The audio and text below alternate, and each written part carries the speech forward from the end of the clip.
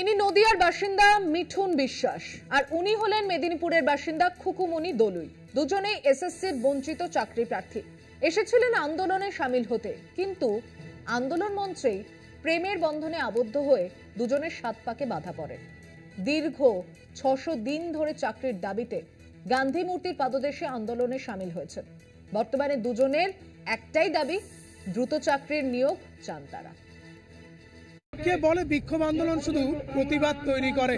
অনেক সময় বিক্ষোভ আন্দোলন ভালোবাসারও জন্ম দেয় এবং অগাধ প্রেম সঞ্চার হয় মানুষের মনে। এরকম অনেক ইতিহাস রয়েছে যেখানে দেখা গিয়েছে আন্দোলনে সামিল হয়ে একে অপরের ভালোবাসায় পড়েছেন একে অপরের সঙ্গে বিবাহ বন্ধনে আবদ্ধ হয়েছেন ঠিক যেমন মিঠুন এবং খুকুমণি।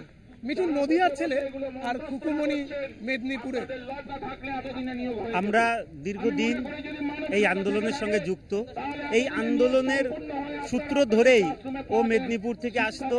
আমরা দু হাজার উনিশ সালের শেষে যখন রাস্তায় মুভমেন্টগুলো করি, আমি নদিয়া থেকে আসতাম। রাস্তায় আন্দোলন করতাম, পুলিশ তুলে নিয়ে যেত। সারা রাত, কোনো কোনো দিন রাত দশটা পর্যন্ত ও কোনো দিন লালবাজারে, কোনো দিন নিউটানা থানায় একসঙ্গে আটকিয়ে থাকতাম, কথা বলতাম।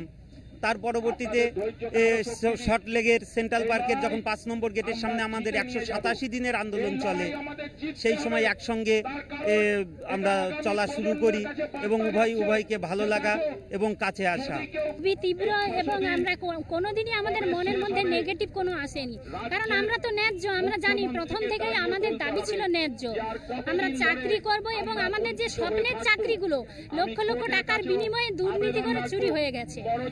যেহেতু আমাদের লিগাল পয়েন্ট আছে, আমরা ন্যায্য আমরা যোগ্য এবং শেষ অবধি আমরা যতক্ষণ আমাদের লক্ষ্যে পৌঁছাচ্ছি, ততক্ষণ আমরা অবিচল থেকে যাব এবং এই আন্দোলন ছশো দিনে পা রেখেছে, ছশো দিনের প্রথম থেকে এই যে সংগ্রাম চলছে, তার সহযোদ্ধা আমরা দুজনে এবং সেই পথেই ঘর বেঁধেছি এবং সেই মানসিকতা নিয়ে এখনও এগিয়ে চলছি।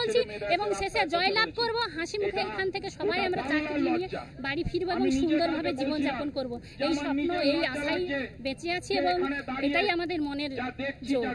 মিঠুন এবং খুকুমণি দুজনেই তারা চাকরির স্বপ্ন দেখেন। এই রাস্তাতেই তাদের পরিচয় এই রাস্তাতেই আন্দোলনের মধ্যে দিয়ে তাদের প্রেম ভালোবাসা এবং তারপর বিবাহ বন্ধনে আবদ্ধ হওয়া।